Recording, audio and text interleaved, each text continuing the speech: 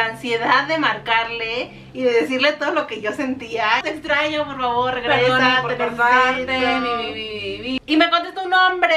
Dijo, soy el novio de Ingrid. Hola, Tintín, yo soy Ingrid. Y yo soy Tali. Este video, como pueden ver, es un charlas en pijama. Y es una Un historia que chingo. nos han estado pidiendo mucho. Y aprovechando, que llegamos a los 60 mil, dijimos, pues bueno, vamos a darles lo oye, no muy grosera, ¿verdad? Sí, eso. Nunca van a saber qué dijo. Oigan, Tintín, si sorry si se escuchan ruidos o así, es que Astrid está ahí. Cagada. Sí, qué asco. Vean. No puedo, está horrible eso. Pero antes de comenzar, como recuerdan, Hicimos una dinámica donde tenían que contestar una pregunta y los primeros les íbamos a mandar saludos aquí. Y la dinámica fue en nuestro canal de vlogs. Entonces, si no nos siguen, corran a suscribirse a los dos canales para que seamos muchos. Ramírez, te mandamos un saludote, te amamos, besotes. También a Susy Rivas, preciosa, chula. Mariana Vargas, también a ti te mando unos besototes. ¡mua! Diana Dom, espero lo haya pronunciado bien. Te amamos muchísimo. Noemí Analia Peralta también contestó. Los amamos. Gracias, Analia. Rocío Nevares, también a ti te mandamos muchos besos. También te amamos. Esas fueron las primeras, pero también quería saludar a otras que explicaron más, como, ¿por qué les pusieron nada más su aniversario? Pero no le explicaron. Ellie Hart, que explicó que es el primero de febrero del 2008. Por eso es 1208, no es el 12 de agosto ni nada así, ni el 12 del 2008, no, es el primero de febrero del 2008. De ella, Guadarrama, también tú le explicaste súper bien. A la Puso. perfección. Pusiste. Y citamos. Viernes primero de febrero del 2008, cuando Ingrid, después de terminar con sujeto R, le pidió a Chiqui que fuera su novia. No pudo ser más clara. De ella, Guadarrama. wow, Fuiste la respuesta más impecable. eso. exquisita. Como tú. Chula.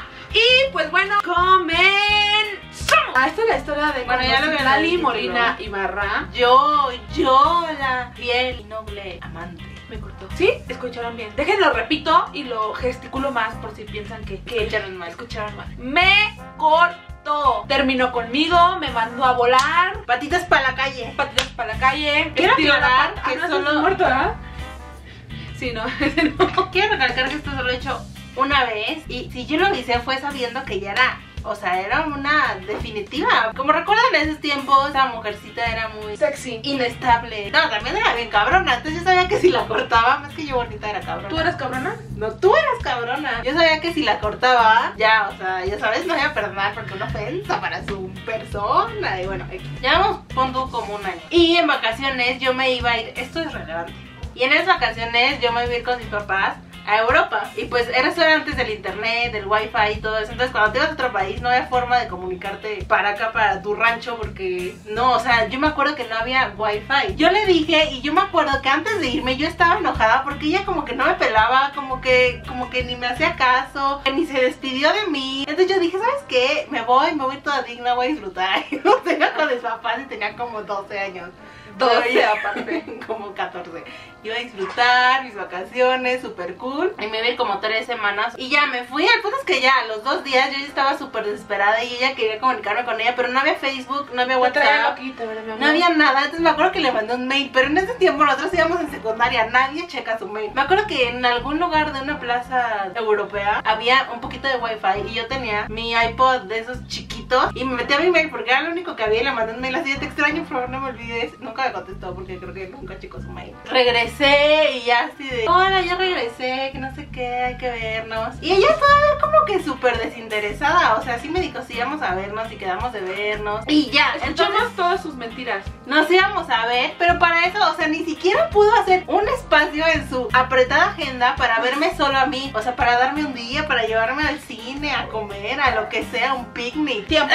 Yo, la neta, yo no tenía muchos permisos. Entonces, Ajá. si él salía una vez, pues aprovechaba y salía con todos los que tuvi- te- tuviera Ah. que salir. Entonces, justamente esa Pero ya vez me fui un salí con mis amigos. O sea, salió con sus amigos y me invitó. O sea, ya tenía planes con sus amigos. Y como, ah, pues vente si quieres. Ni siquiera eran mis amigos, eran sus amigos. No, no era como una fiesta o algo así, donde iba a haber muchas personas y podía yo estar con ella. No, eran cuatro personas, dos amigos y nosotras dos. Y nadie de esas personas era mi amigo más que ella. Ella no X estuvimos ahí en el amor. Y de hecho hay fotos de esa party. Pasaba el tiempo, yo me iba enojando más porque no me hacía caso. Porque decía, ¿cómo un mes y no me dices ni que me extrañaste o algo así? Pues estaba muy ocupada, no tuve tiempo ni siquiera de. Uy, uy. Yo me iba enojando más, que yo no decía nada, yo guardaba y así. Yo no demostraba lo enojada que yo estaba. No me acuerdo cómo, pero ya llegó un momento en que dije, no, o sea, no, ya es el colmo. Es que no me acuerdo qué hiciste, ¿te acuerdas? Según yo, lo que pasó, según mi versión, es que obviamente Citlali quería estar como solo conmigo y así, pero pues también estaba con mis otros amigos, entonces como que ella se enojaba más porque estábamos todos y como que quería jalarme, y entonces mis amigos como que se enojaban porque ella, qué pedo, o sea, porque viene y que quiere jalar a Ingrid y entonces ella se enojaba porque qué pedo con estos güeyes, ya saben, o sea, como que yo estaba entre Lo los chavos. por su No, no, es que no era eso, o sea, es de que Sí, ya, ya yo, yo lo entiendo de que era como una convivencia entre amigos, ¿sabes? O sea, Sí, yo entiendo, era su salida de amigos, pero también para qué voy yo, o sea, porque hubiera salido con tus amigos y ya luego me veías a mí, o me hubieras visto antes y luego te vas con tus amigos, o algo así. Pero es que yo también ya la quería ver. El punto es que yo me enojé y aparte yo ya venía enojada de, de todo ese tiempo que no me mandó ni un mail ni nada. Y dije, no, ya, aquí va a terminar todo. Y no me acuerdo ni cómo te corté, o No, sea, supongo que te dije así como, no, pues ya, ya no quiero andar contigo o algo así, o sea, pero nada dramático ni nada. No me acuerdo, pero según yo fue como, ay, no, ya no quiero andar contigo. No, porque yo me acuerdo que me metí con mis amigos y fue así de, no, me, me, me, me, me. Pero a O mí no me dijiste nada. Ay, pues no, ¿cómo te iba a O decir? sea, por eso no fue dramático. La- las dos sí sentíamos cosas. Yo estaba enojada y quería decirle más cosas. Y ella también quería decirle como que no mamara, que porque le estaba cortando. Pero fue muy calmada, así como, ay, sí, ella no quiere andar contigo. Y ella, ok, está bien. ¿Y tú qué sentiste en ese momento? Nada, dije "Ah, una pullita menos. Ni pex. Yo me sentí obviamente súper... Es que yo quería que ella por una vez en su vida fuera por mí así como, no, por favor, Pero conmigo". gran error, porque en ese, en ese tiempo yo era, la neta era súper inmadura, pero orgullosa. Era así de, no, ¿cómo te atreviste a cortar? No sé, ya sabes, así como que yo, lo primero que hice seguramente, o sea, aparte que me sentía triste, era más mi enojo. Yo tenía cero fuerza de voluntad y entonces yo me fui a Veracruz con mis primos para alejarme de la situación y del problema. Y dije, bueno, ya, ya, bye. Aparte en esos tiempos, solo celular te podías comunicar. Era celular de los de antes, ya saben que no tenían wifi y, y si tenías bluetooth, ni siquiera bluetooth, o sea, porque todavía ni salía la cámara. O ni siquiera había cámara, ya saben, entonces era de los que solo blanco mensajitos y y llamaba. Eran vacaciones de verano, entonces recuerdan que nuestros cumpleaños son en agosto, el 6 y el 10. Y llegó el 6 de agosto y yo así, no manches, no manches, yo quería mandarle algo. Estaba súper ansiosa y todo, pero mis primos tenían el celular y ellos no sabían que era su cumpleaños. Y yo así, no manches, no manches, quiero marcarle, quiero marcarle. X pasó el 6 y yo no le marqué. No, no le marqué, no le mandé un mensajito, nada. ¿Cómo te sentiste al respecto de vos? Ya quiero llorar de nuevo.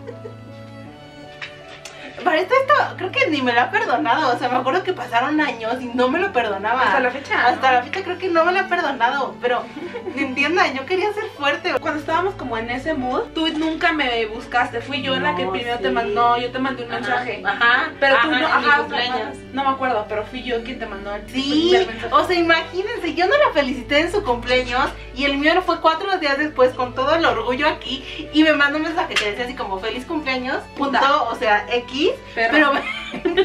no, nada más decía feliz cumpleaños, pero me mandó un mensaje cuando yo no le había mandado nada, entonces yo así, no manches, me súper mal, solo le puse como gracias. Y ya de ahí yo te mandé un mensaje así Sí. como, ¿todavía me quieres? Ajá, Y luego tú. yo te puse como que sí, obviamente. Se tardó un rato, te me acuerdo que te Sí, tardaste de, sí. no manches. Ajá. Sí, obviamente me tardaba, o sea, yo le quería contestar, pero seguro yo decía, a ver, son las 8.05, le voy a contestar hasta las 10.37 para que no sea una hora así que parezca que lo planeé. Y ya no te contesté y creo que tú tampoco me contestaste. Poquito porque es bendito. Y ya, entonces pasaron unos días de mi cumpleaños y yo me sentía mal de que no la había felicitado y ella a pesar de su orgullo me felicitó, a pesar de que yo no la felicité, una buena nena dejé ir. ok. Y empezó a agarrar así como La culpa. como la culpa y como la ansiedad de marcarle y de decirle todo lo que yo sentía y así dije, bueno, ¿por qué no? Súper buena idea. Le marco, le declaro mi amor y segurito Me dice, sí, mi amor, Regresemos, regresemos ya y olvidemos todo. Entonces ahí voy yo de inocente, ilusa, y le marco. Ni mensajito ni nada, le marqué. Y así, lo solté todo. Le dije, te extraño, bien. este, por favor, me has hecho Ay, no, me da un buen de oso, neta. No, no, no puedo creer que no me haya controlado. ¿Tú te acuerdas? No, Qué bueno. no. No puedo creer que no haya controlado así mis sentimientos. Porque yo de no hablarle nada, o sea, y de ser súper cortante así de sí, felicidades, gracias, ah, sí me quieres, sí, bye. Bye. Ah, Así yo, no, te extraño, por favor, regresa, por te cortarte, mi, mi, mi. Y yo, súper cortante. Aunque, sí. Y creo que te colgué, ¿no? Sí, Jesús. Jesús. O sea, yo declarándole mi amor, ella diciéndome sí, no, y de repente me cuelga y yo así. Entonces, como intensa niña, le volví a marcar. Como intensa niña que eras, me volvió a marcar. Supongo que no me contestó y le volví a marcar una segunda vez. Y me contestó un hombre. Y en ese, o sea, yo éramos de chavo, yo sabía que no era su papá o sus primos o algo. Bueno, no sabía que eran sus primos, pero era un hombre. Yo dije, no manches, me puse súper intensa. Todos los sentimientos se me subieron y le dije, ¿quién eres? Y me dijo, soy el novio de Ingrid. Y yo, ¿qué pedo? Y yo así, entonces más me empecé a enojar y a aprender y así, yo, ¿cómo te llamas? Y supongo que me vi muy intensa porque me colgó. Supones. Según yo se lo dije así como, ay, oye, ¿quién eres? Ay, no, ay, ¿cómo te llamas? Soy su amiga. Ay, Ajá, y quiero saber de ti. Me colgó y entonces yo me quedé así, o sea, con esa información de no saber cómo se llamaba, de que era su novio, yo me quedé así de qué onda. Y luego, ¿qué pasó por allá? Que obviamente Slary me había cortado. Era más mi enojo que mi. O sea, sí estaba triste y todo, pero estaba muy enojada porque era una niña egoísta, inmadura, súper orgullosa. Bueno, ¿y qué fue lo primero que le dije? Se me ocurrió un, un gran plan. Ah, pues ya no ando con ella, voy a andar con alguien, pues para que le duela. Y ahí va Ingrid, adolescente, a andar con el primero que se le encontró. O sea, pero lo encontró así, o sea, yo... Y entonces luego le mandó un mensaje así de, oye, que... Porque ella no quería marcar, supongo que le volvió a marcar, pero ya no me contestó. Y... ¿Cómo quise verme que me controle? Y ya le mandé un mensaje así de, oye, ¿qué pasó con eso de que si todavía te quería? Fue hace tres días, neta, ¿qué onda? ¿Cómo que ya tienes novio? Y me mandó un mensaje que decía, clavo, una, dos, tres, ¿Qué saca tu clavo? Así. O algo así, un clavo saca otro clavo. Ajá, un clavo saca otro clavo, y así, o sea, eso fue todo su mensaje. Y yo, no manches, un clavo, ya me va a sacar. Yo soy el clavo primero. y el otro ya está ahí, bien clavado. Puse súper triste, seguro estaba llorando y algo así. Yo ya estaba como súper enojada y como ella ya me había marcado antes, como para decirme que me amaba y mi, mi, pues obviamente, gran error de ella, Exacto. pues se fue como de, ay, todavía me quiere, bueno, voy a seguir siendo una culera. Te costó así como súper cortante, súper, gro- no grosera, pero así como... Cortante. Ajá, cortante. Y en e- ah, para esto yo trabajaba en unas ensaladas, en un De comida rápida. entonces ella iba, como la niña intensa que era, y se sentaba en unas mesitas que estaban enfrente, De la comida rápida. Ajá. No era un restaurante. Como- una plaza, ajá, en una plaza, y ven que hay muchas mesitas como para todos los restaurantes. Y ahí se sentaba, y neta, me acuerdo que trabajaba que nueve horas. Sí, porque Ajá. eran, te negrean. Ajá, Te explotan. Y, y así llegaba, se sentaba nueve horas a esperar a que saliera. Y yo no decía, no mames, ajá, no había celulares. Ya de que yo de repente salía, no sé, a servir una ensalada. Y la veía, ya se así como super stalker sentada en las mesitas. En mi defensa yo confiaba en que me amaban. Ay, no, es que... Es que ahorita que lo pienso, Sí. en tercero, o sea, ¿sabes? yo digo, güey, eso es de gente Sí. acosadora, o sea, Qué bueno de- que me amaste, qué feo. de asesinos seriales, Sí. cosas así. Pero Pero, pues en ese, ajá, en ese momento sí era Fue como, ay, guau, qué lindo, ya saben, porque yo siento que más bien, si hay, esa- es que es muy, muy delgadita la línea entre acoso y, y romántico. Ajá. Es que es de la otra persona. Ajá, pero sí. yo tampoco sabía si tú. Bueno, no, me hubieras dicho. Si te hubiera dicho, ¿sabes qué? O mi- o hubiera llamado a la policía, así oigan, ¿qué puedo con esa niña que viene cinco días a la semana? A presentarse Oye, ¿sí ¿qué pasa con tus compañeros que no hablan? lo- Bueno, X. Entonces yo salía y era como, ah, ya me voy. Ajá, La moneaba. Sí, la neta sí, de repente yo no salía nada para que me viera. Ahí está la línea. Entonces yo sabía que era cosa. Bueno, eh, ya pasó el tiempo y fue como la segunda o tercera vez. Pero es que para esto yo no tenía permisos, o sea, yo salía del trabajo tenía que estar en mi casa, no sé, salía a las 9 de la noche y en mi casa hago media hora, entonces a las 9 y media yo tenía que estar en mi casa porque si no me regañaban. Ajá, entonces era como de que, ah, pues salgo y me iba a mi casa y fue como hasta la tercera vez que fuiste. Para eso luego llegaba un hombre y la abrazaba y yo, ¿quién es ese? Ah, porque mi novio justamente Su era- mi novio Era- trabajaba conmigo. Entonces era mi compañero y pues la leí sentada, yo salía y de repente Sí, salía y me abrazaba, sí, me daba un beso, sí. cosas así. Nada, te daba besos. Sí, en las chichis así. No, y no, y ahí, ven qué control. Yo no hacía nada, obviamente. Ajá. No. Iba a salir con otros amigos, pero yo tenía el permiso. Entonces pues ya Citlali estaba ahí y era como pues sí, hay que salir. Pero pues también estaba este hombre, se llama Juanjo, para que lo ubican. Entonces pues Bueno. eh, estaban mis amigos, estaba eh, Juanjo y estaba Citlali. Entonces salíamos como todos, porque pues como saben los permisos eran muy reducidos y pues salía, Aprovechaba. Y pues ahí estaba Citlali y modo que dijera, no, pues ya vete. Y entonces ya salía a esperar sus nueve horas y así, ajá. Y la, la neta Ya yo había hecho salía... mi luchita. Ajá, era, era. Sí, era como, ay, voy a salir con Citli, pero e- era un súper conflicto porque yo andaba con este chavo y estaba. O sea, también, también, o sea, andaba como hace dos segundos. Pero no, no, no, o sea, pero, O sea, sí era grosero, o sea, de, de- de Sí, cierta parte, parte, forma, sí era como, pues, era mi novio legalmente, como decirlo, pero estaba Citlali, entonces se había hecho un desmadre total. También era Y grosero mi para otro él. amigo, ajá, y mi otro amigo también estaba. Entonces hizo un súper desastre porque Juanjo pensaba que yo quería o que traía como que algo con Luis cuando él solo nos estaba cuidando a Citlali y a mí. Entonces como que se hizo... Porque él era banda, él él era... apoyaba nuestra relación y así, entonces como que Y yo le había contado y así. él sí era un amigo de las dos. Es como que también quería que regresáramos. Y ya al final, oh, este Juanjo así enojadísimo de no, me vas a madrear, que no sé qué. Y yo Y así como agarrándolo. Yo estaba con Luis en la camioneta. Me acuerdo que tú, me platicaste, tú estabas afuera con Juanjo, como despidiéndose. Y, ah, sí, nos estábamos despidiendo.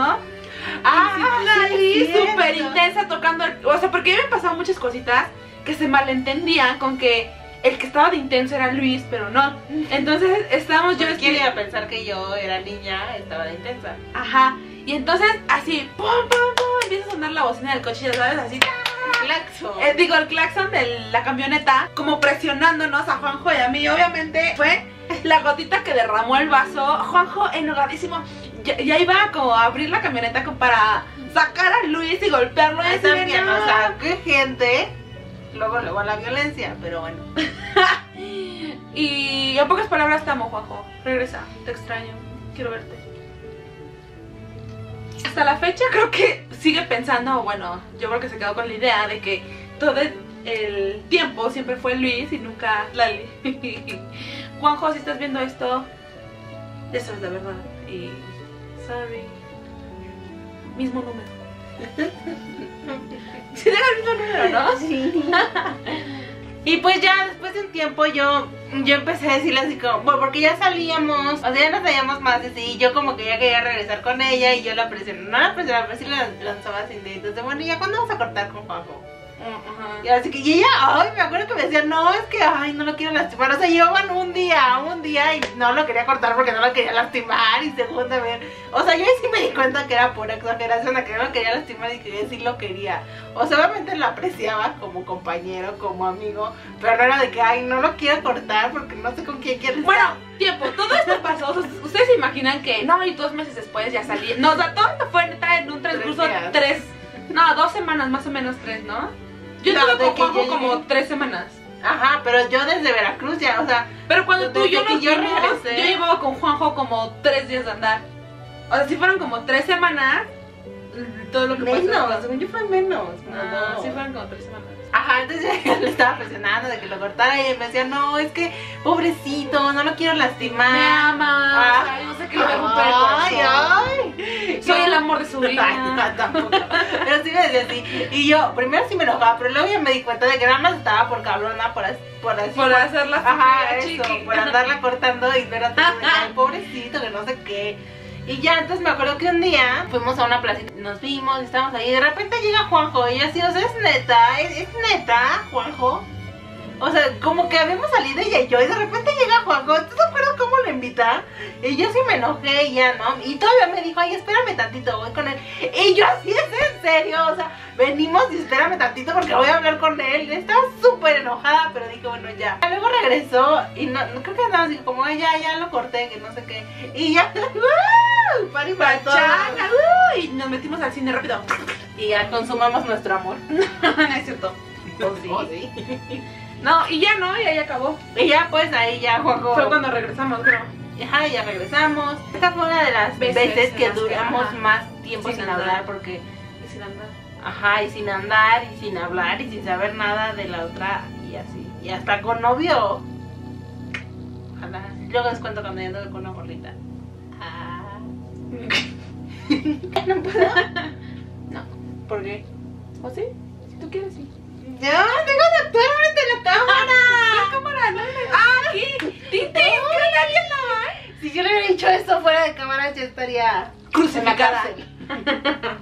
Bueno, Tintín, esta fue la historia que tanto nos pedían. Espero haya cumplido con sus expectativas, un poco de emoción, un poco de sentimiento, un poco de terror. Estos son los hilos de las emociones.